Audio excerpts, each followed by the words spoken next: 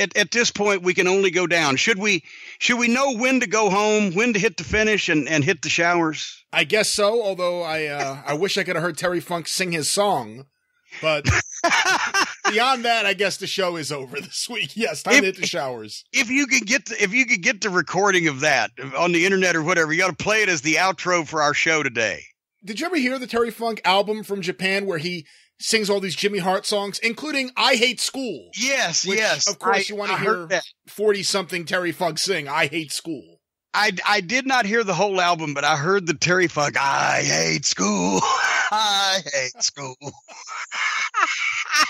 I, I think maybe I we got to ask him sometime or ask Jimmy Poo Poo if you're out there why that Terry just covered an entire album of Jimmy Hart novelty songs in Japan while singing in English.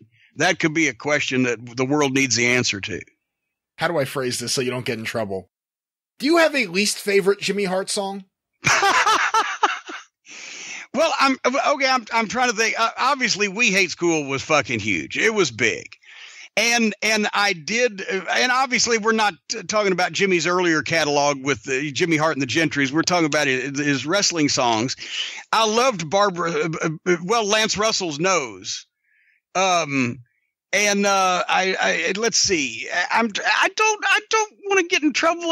I'm trying to think of one that really sucked though, because to be honest, many of them had a similar sound because it was Jimmy's groove. Yeah. There was where it was at, but I don't recall anything that sucked. See, Lance Russell's nose is interesting because it's sung from the point of view of being Jimmy Hart, and he meets this woman, and let's go over her attributes. She has Herschel Walker's thighs, Liberace's smile. I mean, it's just what kind of woman is Jimmy trying to meet? That's what I want But to know. but you know what? It used to be. It was originally it was Barbra Streisand's nose. Is why I slipped. Almost said that there, and then he changed it because it fit the the program better. We hate school's great too because you have that music video of the first family trying to play along with the instruments like Koko Ware on guitar. Yeah, yeah. He was just completely blowing everything. I, I think maybe one of the worst is I forget the actual name of the song, the one the Road Warriors did when they came in.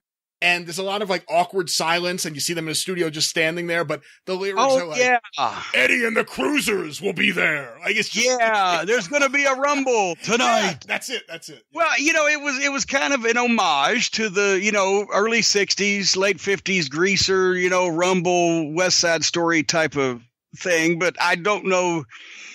I don't know whether it was the material or whether the Road Warriors just weren't, you know, good at fucking, you know, uh, West Side Story type Broadway show tunes. Maybe. Do, do you know uh, a little trivia for you? Name another tag team that used this, that as their theme music. Oh, good lord! It um, when you say it, I'll remember them, but I can't. I can't call it. Uh, the Nightmares when they were in Alabama. That's right. That's right. Because I saw it on Continental, and I and I heard that, and I was like, wait a minute, what the? but it thankfully, I don't think that lasted too long. it it it wasn't. Uh, yeah. All right. Are we done here? Uh, who do we bury next? Fuck it. Hey, poo poo, we love you. And uh,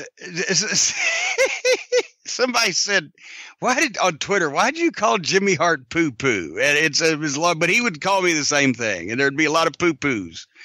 Uh, but anyway, there's a, a, a lot of poo poos every week here on the Jim Cornette Experience, and you should listen to more of them if you're not already.